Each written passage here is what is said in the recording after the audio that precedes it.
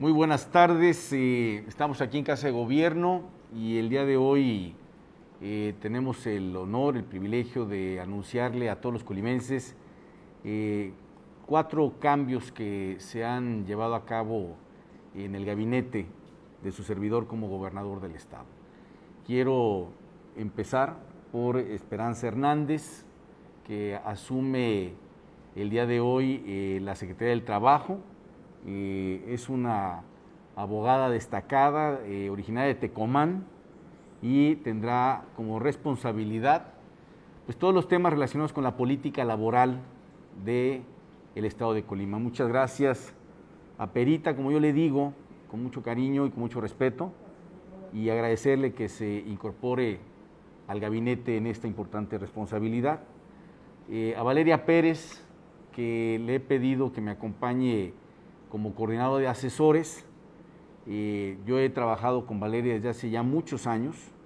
Es una economista muy destacada. La conocí cuando yo daba clases en la Universidad de Colima y eh, pues viene de desempeñarse también con mucho éxito en la Secretaría de Desarrollo Social, pero ahora estará eh, coordinando a los asesores y todo el trabajo que se desempeña precisamente en esa importante área. Muchísimas gracias, Valeria, por tu respaldo y por tu apoyo.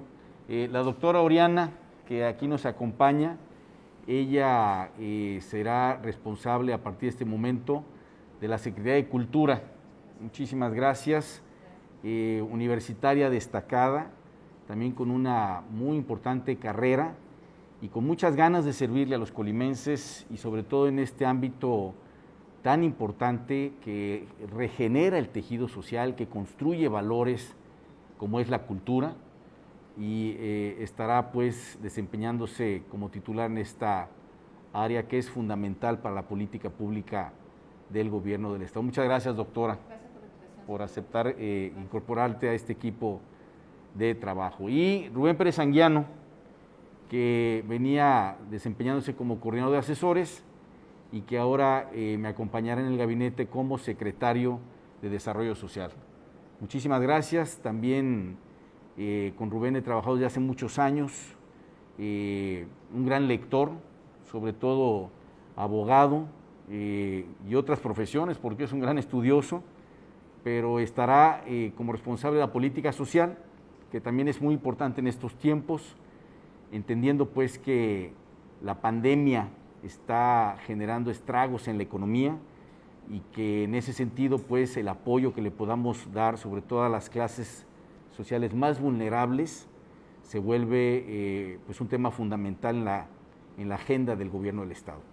Eh, a los cuatro colaboradores que el día de hoy se incorporan al gabinete con estas responsabilidades, pues recordarles que tenemos la obligación de eh, cumplir con la ley, de tener muy claro cuál es el marco normativo que aplica a cada una de las áreas, que aplica al desempeño de los funcionarios, que hay que actuar con honestidad, con transparencia, con legalidad y también con mucha sensibilidad social.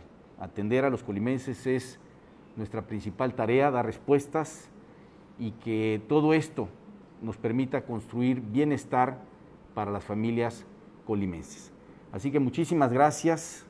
Es eh, para mí un honor poder incorporarlas, incorporar a Rubén, poder hacer equipo con ustedes y para todos debe ser considerado un privilegio el poder servir a la gente, poder servir a los colimenses. Así que estaremos ya haciendo equipo con eh, nuevos integrantes en el gabinete del gobierno del Estado.